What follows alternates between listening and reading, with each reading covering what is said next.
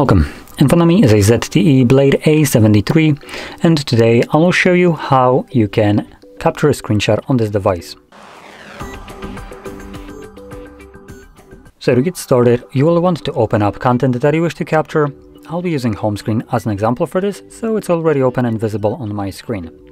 Once your content is prepped, meaning open and visible on the screen, all you need to do is hold your power button and volume down at the same time. This will give you a flash along with a pop-up with scrollable screenshot and also share option, which does disappear after a really brief moment. Once it disappears, you can find this captured screenshot in your Photos application.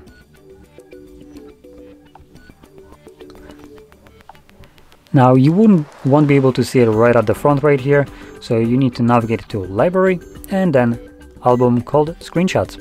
And here you can find your all all of your screenshots that I've captured, along with also screen recordings.